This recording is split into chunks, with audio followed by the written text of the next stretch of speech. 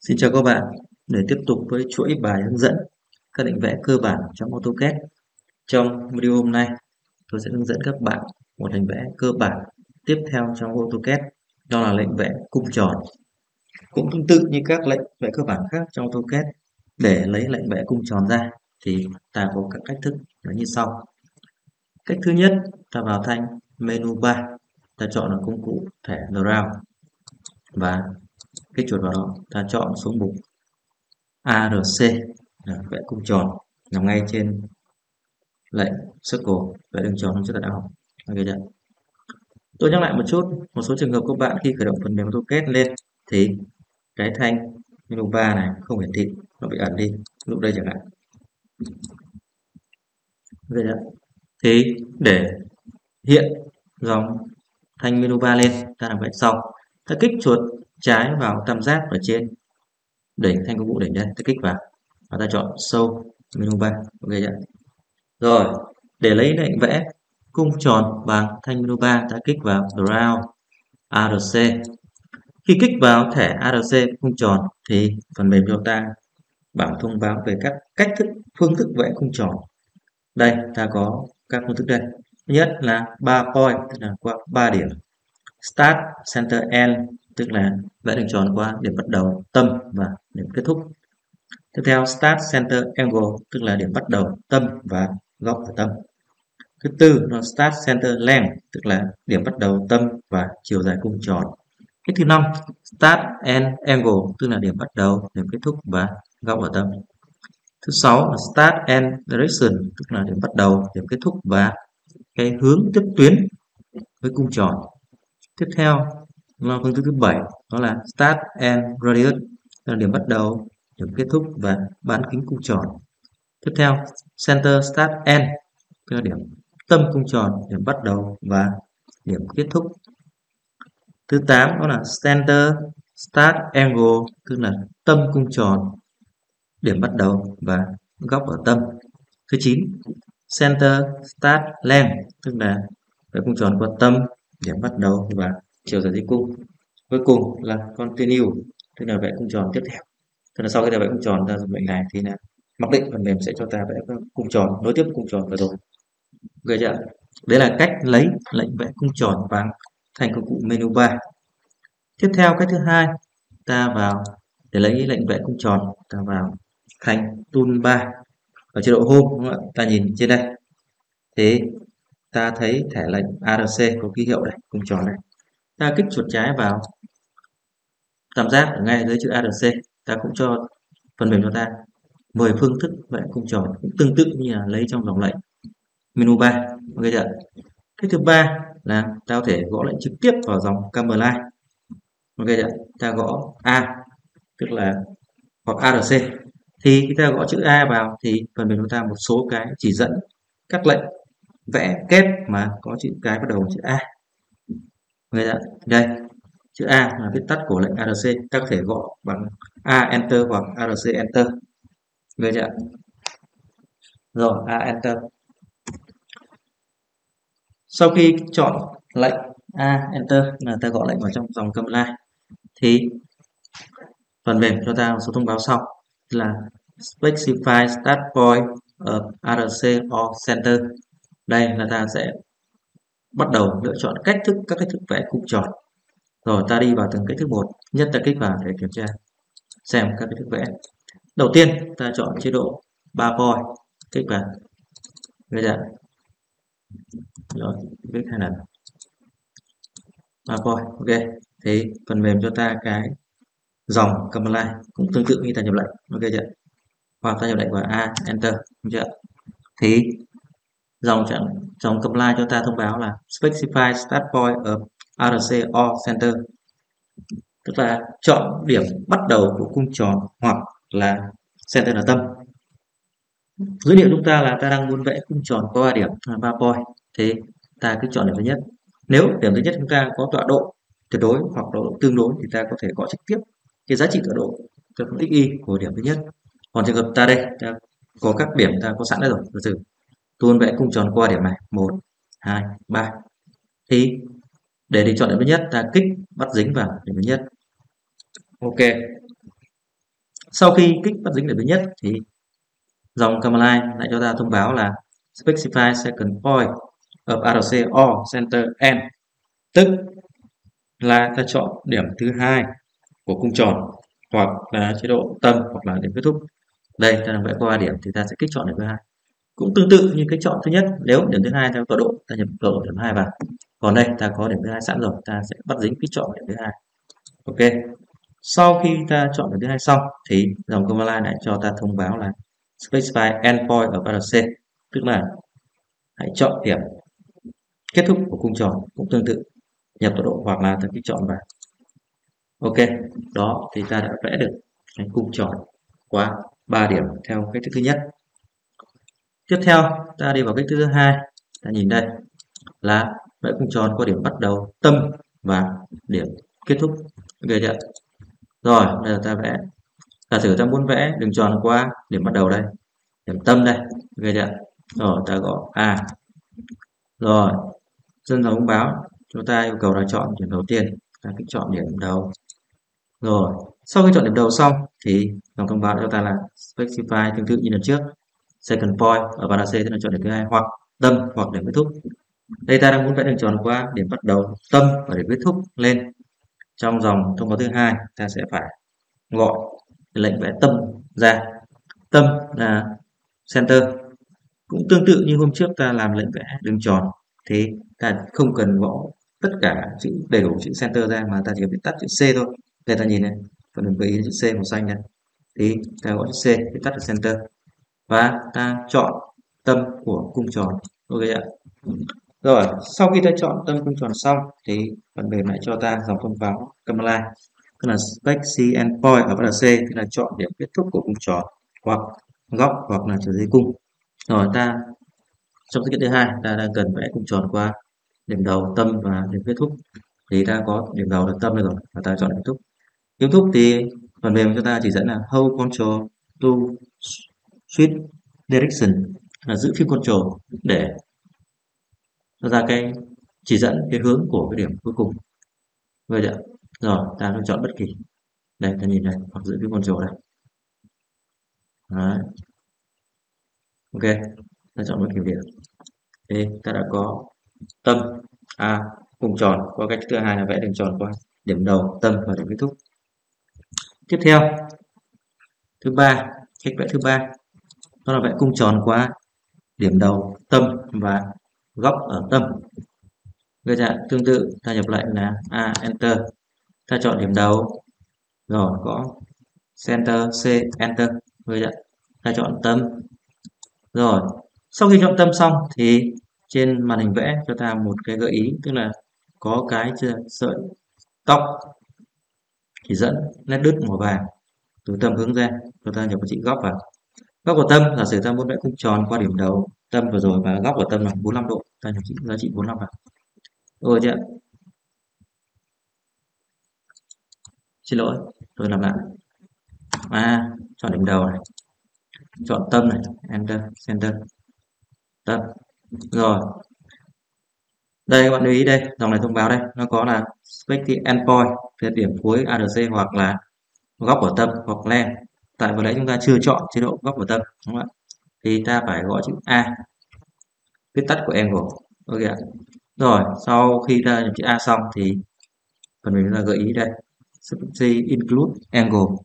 Tức là ta nhập giá trị của cái góc của tâm vào. Giả sử ta muốn vẽ cung tròn, có góc của tâm bằng 45 độ, ta nhập giá trị 45 vào. Ok chưa rồi, ta từ đó thử xem cái tâm đây. Điểm đầu đây. Và kết thúc đây ghi nhận rồi, ta đo góc tâm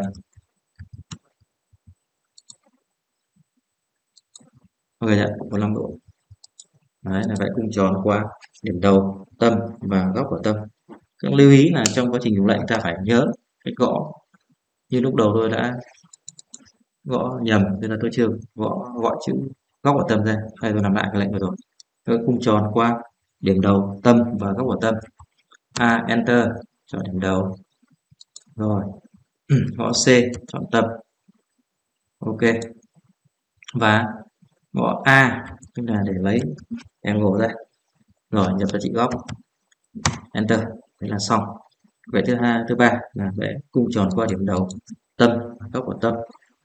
Cái vẽ tiếp theo, cái thứ tư, đó là vẽ cung tròn qua điểm đầu, tâm và chiều dài dây cung. Rồi tương tự ta gọi lệnh a, enter. Ta chọn điểm đầu rồi, ta gõ c, enter. Chọn tâm. Đây, lại tiếp tục rồi thông báo. Đây, vì ta muốn lấy chiều dài dây cung. Ta gõ chữ L, viết tắt của từ len. Enter. Ok chưa? Rồi, xong, ta nhập giá trị dây cung vào. Ok chưa? Ta giữ dây cung của ta bằng 30 chẳng hạn, ta nhập giá trị 30 enter. Ok chưa? Rồi, ta đo chiều dài dây cung. Đây, dây cung chúng ta đây đây chính là dây cung rồi, thì chiều dây cung ta đo đó giá trị à 30 mươi rồi. Đấy là cách vẽ thứ tư, là vẽ cung tròn qua điểm đầu, tâm và chiều dây cung. Cách vẽ tiếp theo, vẽ cung tròn tiếp theo, đó là vẽ cung tròn qua điểm đầu, điểm cuối và góc ở tâm. Vậy đấy. rồi, tiếp tục ta dòng lệnh. A ta kích chọn điểm đầu. Rồi, ta gõ chữ e enter, viết tắt của n, tức là chọn điểm cuối. Kích chọn điểm cuối, chưa? Rồi, tương tự trước là ta gõ chữ a để lấy giá trị góc ở tâm, chưa? Rồi, ta nhập dị góc vào. Ta nhập 45 độ chẳng hạn. Ok chưa? Rồi, ta kiểm tra thử lại. Đây tầm cùng tròn của chúng ta đây. Khi ta kích vượt cùng tròn chế độ bắt dính thì chế độ center nó sẽ hiển thị chúng ta, chế độ center ra. Đấy 45 độ, ok chưa? Đây là nhìn em độ giờ chữ L này. đây ta chọn vào đây. Chọn gần cái dây cung ra thì có biểu tượng dấu cộng. Hoặc đây là gần cái cung này, có dấu cộng này là tâm của cung tròn này. Và đây, tâm này là tâm của cung tròn này. Chưa? Đây, chế độ bắn dính center. Tâm trước ta đã chế độ bắn dính rồi. Rồi, tiếp theo, cách vẽ cung tròn tiếp theo, cách thứ sáu đó là vẽ cung tròn qua. Điểm bắt đầu, điểm kết thúc và hướng tiếp tuyến của cung tròn. Đây, thực hiện lệnh cho dễ hiểu. Ta chọn a. Chọn điểm đầu. E enter, chọn điểm kết thúc. Và hướng tiếp tuyến của dây cung, ta phải chọn vào chữ d viết tắt của direction. Đúng chưa đang ra ta phải có direction ra như đây, ta nhìn đấy gợi ý đấy ta chỉ cần nhập chữ D mà phần mềm sẽ hiểu là ta đã chọn chế độ là hướng tiếp tuyến của dây cung, của cung tròn. Để enter. Ok chưa? Đây. Khi ta gõ D, enter xong thì phần mềm ta gợi ý đây trên màn hình làm việc đây. Cũng có đường nét đứt màu vàng. Đây chỉ cái hướng, chính là hướng tiếp tuyến, đường màu vàng chính là cái hướng tiếp tuyến, cái đường tiếp tuyến của dây cung. Thì ta chọn chuột lên, đúng chưa? Thì ta sẽ có cái hướng tiếp tuyến dây cung đó. Và ta kích chiều này cái tuyến đây, kích vào. Ok thì ta đã vẽ cung tròn qua điểm bắt đầu điểm kết thúc và hướng tiếp tuyến của cung tròn tại điểm bắt đầu. Đúng chưa? Đấy, cái tiếp tuyến là dây của, của cung tròn tại điểm bắt đầu này. Rồi cách vẽ cung tròn tiếp theo. Ta đã chọn đó là vẽ cung tròn qua điểm bắt đầu điểm kết thúc và bán kính của cung tròn. Tương tự ta gõ lệnh a enter. Ta chọn điểm bắt đầu. Rồi gõ e enter. Các bạn lưu ý nhé không được quên quên nó sẽ hiểu sang chế độ vẽ khác đấy. Ta chọn tâm cung tròn, tương tự. Đây, angle direction radius, angle ta chọn rồi. Direction thì ta cũng chọn rồi. Nó hướng tiếp tuyến của cung tròn từ điểm bắt đầu. Cái thứ ba là ta chọn radius, tức là r, enter viết tắt chữ radius. Ta nhập chữ r vào. Enter. Rồi, sau khi nhập r xong thì dòng thông báo ta là specify radius of arc tức là nhập giá trị cung của bán kính cung tròn giả sử ta nhập giá trị bán kính cung tròn là bằng 50 chẳng hạn, ok. Enter. Thì ta đã vẽ được cung tròn. Có bán kính, điểm chọn để bắt đầu, điểm kết thúc và bán kính 50 rồi ta đo sơ bộ bán kính xem. Kết quả nào đúng chưa? R50 ok. Rồi, cách tiếp theo vẽ cung tròn là vẽ cung tròn qua tâm điểm bắt đầu và điểm kết thúc. Vậy ạ. Đây là cách thứ 8 thứ 7 thứ 8 nó sẽ cái 8 điểm tâm, điểm bắt đầu điểm kết thúc. Rồi, ta gõ A, Enter. Tại dòng này, thì ta cần tâm đầu tiên người ta sẽ phải chọn. Sau khi gõ lệnh A xong, ta phải gõ chữ C để tắt vào center rồi, ta chọn tâm cung tròn tiếp theo, specify start point ở RC là ta kích chọn điểm bắt đầu của cung tròn và dòng cuối là specify end point ở RC theo điểm kết thúc của cung tròn hoặc góc và phía dưới cung đây ta là chọn vẽ bằng tâm để bắt đầu kết thúc, nên ta sẽ kích chọn kết thúc. Người chưa rồi, thì ta đã vẽ được cung tròn qua điểm tâm để bắt đầu và điểm kết thúc. Người chưa rồi, chế độ vẽ cung tròn tiếp theo. Đó là vẽ cung tròn qua tâm. Điểm bắt đầu và góc ở tâm. Tương tự, ta chọn A, Enter. Dòng thông báo này ta gọi C để lấy lệnh tâm. Chọn tâm cung tròn ra. Ta chọn điểm bắt đầu. Nếu tôi kích chọn thì sẽ ra, nếu kích chuột vào đây, chọn thì sẽ ra cách vừa rồi, đó là vẽ cung tròn qua tâm, điểm bắt đầu và điểm kết thúc đây là ta đang muốn vẽ cung tròn qua để tâm, để bắt đầu vào góc của tâm. Tương tự, ta gọi chữ A viết tắt angle. Ok chưa rồi, thì nó thông báo là specify includes angle, tức là nhập giá trị góc của tâm. Góc tâm là 60 ok, đấy, trên góc này đây. Ok chưa rồi, chế độ vẽ tiếp theo, nó là vẽ cung tròn qua tâm điểm bắt đầu và chiều dài dây cung. Tương tự ta gọi A rồi C enter để lấy tâm. Ta chọn điểm bắt đầu và L enter tắt len. Ok ạ, ta nhập được dây cung vào. Dây cung ta bằng 45 là ta nhập vào. Ok, đây, chính là dây cung của chúng ta đây. Người nhận và chế độ vẽ cuối cùng nó là continue. Tức là tiếp tục. Kích vào. Ok nhận đấy. Thì cho ta vẽ cung tròn nối tiếp cung tròn vừa rồi. Ok nhận đấy vẽ cung tròn nối tiếp. Continue. Là đường nối tiếp. Rồi, ta đã vừa làm quen với các cách thức vẽ cung tròn trên. Là 11 cách thức vẽ cung tròn. Ok nhận rồi, để hiểu hơn về lấy vẽ cung tròn này, ta đi vào một số bài ví dụ. Làm để ta làm quen với lại các cách vẽ này ok chưa rồi đây, tôi có một vài ví dụ đây. Rồi, chúng ta đi vào ví dụ đầu tiên. Đây, ta có hình vẽ về ba đây. Dạ. Rồi ta tiến hành vẽ. Đầu tiên, ta chọn điểm bất kỳ điểm P5 sang P4 đi. Ta chọn lệnh like đúng không ạ? Là kích chọn điểm bất kỳ P5 nhập tọa độ đến P4 vào. Shift A cộng đúng chưa 50 phẩy không. Ôn lại cái bài vẽ đầu tiên, lệnh like line đường thẳng chưa xong tiếp theo, ta vẽ cung tròn qua điểm P3 P4 và có thể tâm đây? Thì với cái vẽ cung tròn này, có nhiều cách vẽ. Được chưa? Ta có gì thứ nhất là giá trị bán kính ta có điểm đầu này. Được chưa? Và ta có thể điểm P3 kết thúc. Người ta nhìn đây, trên hình vẽ này là điểm P3 tâm của cung tròn và điểm P4 thẳng hàng nhau. Bán kính là bằng 50 do đó điểm P3 cách 4 bằng 100 theo phương y, và điểm tâm cung tròn cách điểm P4 cũng bằng 50 bằng 50 theo phương y thì với cái này ta sẽ có nhiều cách vẽ cung tròn, vẽ cung tròn qua điểm đầu, tâm điểm kết thúc, hoặc là vẽ cung tròn qua điểm đầu, tâm và góc ở tâm. Hoặc là vẽ cung tròn qua điểm đầu, điểm cuối và góc của tâm, vân vân. Thì các bạn có thể thực hành, đi lại theo các cách thức khác nhau. Tôi chỉ hướng dẫn một phương án vẽ. Nhất là vẽ đường tròn qua điểm đầu, tâm và điểm kết thúc. Ok chưa? Rồi, ta đi vào. A enter ta chọn điểm đầu đúng chưa? Thứ hai chọn c enter là để xác định vị trí tâm. Enter. Rồi ta nhập độ tâm vào. Sẽ vào cộng 0,50 đúng không ạ? Enter. Và ta chọn điểm kết thúc sẽ vào cộng 0,100 enter.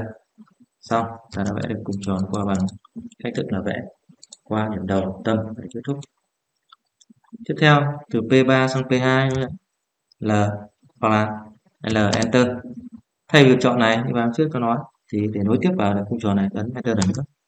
Là tự, phần mềm sẽ nối tiếp vào cái điểm cung tròn rồi. Từ P3 sang P2 đúng không ạ? Ta nhìn ra chị đây 50 cộng 50 cộng 100 nữa sẽ vào cộng trừ 100 phải không? Enter. Rồi tiếp theo p2 p1 đúng không ạ? 50 khoảng cách P2 P1 50 theo phương y đúng không? Rồi, giá trị sẽ vào cộng 0 phải trừ 50 đúng không ạ? Quy ước về tọa độ âm dương chúng ta học rồi. Rồi. Tiếp theo để vẽ cung tròn này. Dạ, ta biết quy ước của cung tròn là gì? Quy ước cung tròn là cách vẽ là theo ngược chiều kim đồng hồ, rồi quy ước là góc trong AutoCAD. Đây với dữ kiện này thì ta sẽ có được điểm P5 và P1 và có bán kính của cung tròn. Thì ta sẽ gì? Ta sẽ vẽ cung tròn bằng dữ kiện là vẽ cung tròn qua điểm đầu, chưa? điểm kết thúc và bán kính cung tròn. Chưa? Rồi, lưu ý là khi ta vẽ cung tròn điểm đầu điểm kết thúc là gì? Từ điểm đầu kết thúc góc quay hoặc bán kính là theo chiều ngược chiều đồng hồ nếu giả sử tôi vẽ chọn điểm đầu điểm p1 thì sao là a chẳng hạn điểm đầu này ok chưa rồi n điểm kết thúc chẳng hạn được chưa? Và nhập tích radius bán kính hạn. Bán kính 150 50 enter. Ok chưa? Nếu mà ta nhập như thế, điểm đầu đây, điểm kết thúc đây, đúng không ạ? Thì cung tròn ta sẽ quay theo hướng này từ chiều đồng hồ, đúng không? Thì sẽ ngược với hình này, đúng chưa? Để vẽ hình này thì sao? Thì ta phải chọn điểm đầu đây, đúng chưa? Và để kết thúc đây thì cung tròn sẽ vẽ quay như này. Ngược chiều đồng hồ. Đấy, quy ước cũng giống quy ước là vẽ quy ước trong góc quy từ về góc trong AutoCAD rồi, ta lại lại a, enter và chọn điểm đầu. N, chọn điểm kết thúc. Ok chưa? Và r, radius là bán kính của vòng tròn, nhập trị 50 ok chưa? Rồi, còn vẽ đường tròn T1 bên trong đây. Là dễ dàng rồi ta gõ lệnh C đúng chưa? Vẽ đường tròn như hôm trước. Rồi, ta có giá trị gì? Tâm tâm cung tròn này, tâm đường tròn này, cùng với tâm của cung tròn này. Dạ. Và thứ hai là nó sẽ bán kính rồi. Thì ta vẽ đường tròn qua tâm và bán kính kính bắt dính tâm. Đó, ta chọn bắt dính tâm. Đây là nhiều bắt dính quá, ta chọn bắt dính tạm trú đi. Center. Ok chưa? Rồi ta nhập vào giá trị bán kính 20 enter ôn lại bài vẽ đường tròn hôm trước. Với bài này các bạn có thể ôn lại các cách vẽ tròn qua nhiều cách khác nữa mà này cũng có thể này, ví dụ là ta chọn điểm đầu điểm thúc và góc của tâm này ta nhìn này P4 P1 P5 tạo với tâm một góc khoảng 90 độ nữa rồi các bạn sẽ ôn các cách vẽ khác nhau. Rồi, ta đi hình thứ hai. Dạ. Rồi, hình thứ hai. Ta vẽ điểm P1 P2 nối trước. Dạ. Rồi, ta dùng lệnh line, chọn P1 bất kỳ. P1 cách P2 đúng không? Do đây là thẳng hàng. Đúng chưa? Dạ. thì P1 lên 2 sẽ bằng 80 ship 3 cộng 0 là 80 phải không, ok chưa ta điểm P2 tương tự, giờ vẽ cung tròn này là gì? Cung tròn này, ta có điểm điểm đầu, điểm P2 cũng tương tự như vẽ hình trước, đúng không ạ?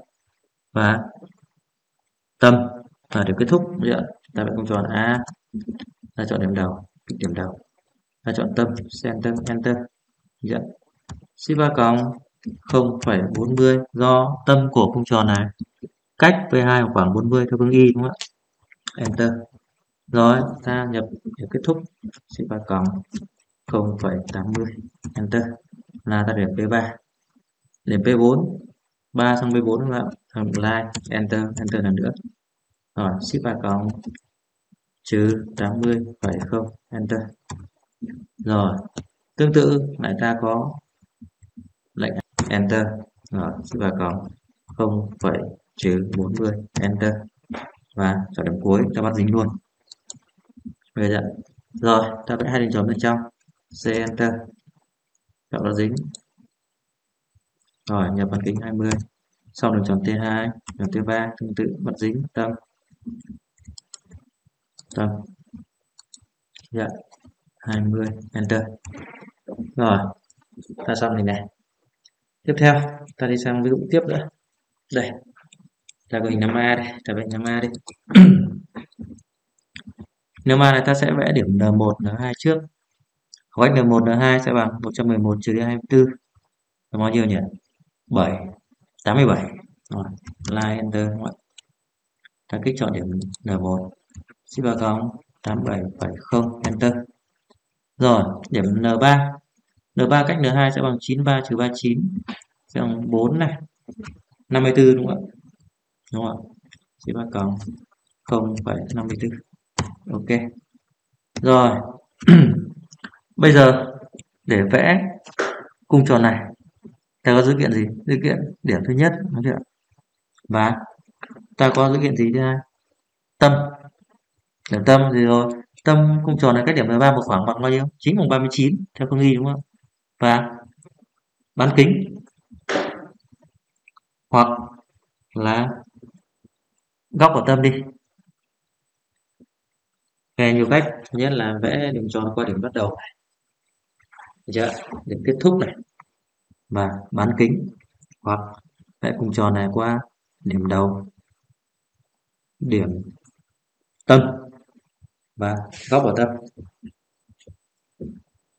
Rồi rồi vừa nãy ta đã vẽ đường tròn qua điểm đầu tâm và điểm cuối bán kính rồi. Chúng ta chọn góc của tâm đi. Rồi a. Dạ ta chọn điểm đầu. Kích chọn điểm đầu. Ok chưa? Rồi c ta chọn tâm. Tâm là gì? Khoảng cách này bằng 39 theo ghi đúng không ạ? C 3 cộng 0,39 là ta xác định được vị trí của tâm góc ở tâm. Đấy, mà các bạn nhớ quy ước của góc đúng không ạ? Nếu cung tròn vẽ quy ước là theo chiều ngược của chiều đồng hồ. Còn đây ta nhìn góc của tâm đây N3 N4 tạo với góc của tâm bằng 90 độ. Nhưng do từ N3 sang N4 quay hướng cùng chiều kim đồng hồ nên giá trị góc tâm tạo nhập giá trị âm. Trước khi nhập trị góc, ta phải có chữ A đã để mình hiểu là ta đang muốn tìm giá trị góc của tâm. Enter, được chưa? Rồi, ta nhập giá trị góc của tâm. Đây, góc tâm này sẽ bằng bao nhiêu? Ngược chiều đồng hồ từ N3 N4 90 độ là sẽ nhập giá trị trừ 90 đúng không ạ? Enter. Ok chưa nếu bạn nhập 90 nó sẽ sai nhé cung tròn sẽ ngược này. Nếu tôi giả sử nhập 90 là a này. Rồi c enter này. C ba cộng 0,39 này. Enter là dưới giá trị 90 này ng là trước này rồi 90 enter. Đúng chưa đấy thì nó sẽ ra phía này. Cung tròn sẽ quay theo hướng ngược chiều đồng hồ. Đúng không? rồi xóa đi. Tiếp theo ta vẽ n4 sang L3, L5 kích chọn điểm này L4 sang L5 sẽ bằng 111 trừ đi 39 đúng không ạ? Rồi, 11 trừ 11 trừ 39 bằng 2 này, 11 72. Ship 3 cộng trừ 72 vậy không enter. Rồi, ta được điểm N5. Rồi, từ N5 xuống điểm này sẽ bao nhiêu nhỉ?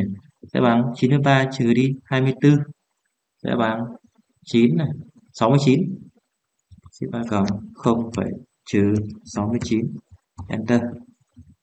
Rồi. Sau khi vẽ được cái điểm này xong thì bắt đầu cuối cùng ta là vẽ cung tròn này. Cung tròn nó có dữ kiện gì? Dữ kiện điểm đầu đúng chưa? Điểm kết thúc và bán kính đúng chưa? Rồi ta chọn gì? Điểm đầu này.